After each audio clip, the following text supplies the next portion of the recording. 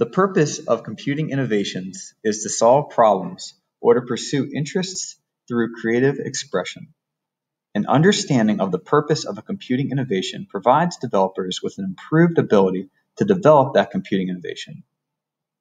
A program is a collection of program statements that performs a specific task when run by a computer.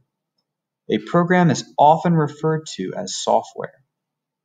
A code segment is a collection of program statements that is part of a program. A program needs to work for a variety of inputs and situations. The behavior of a program is how a program functions during execution and is often described by how a user interacts with it. A program can be described broadly by what it does or in more detail by both what the program does and how the program statements accomplish this function. Program inputs are data sent to a computer for processing by a program. Input can come from a variety of forms, such as tactile, audio, visual, or text.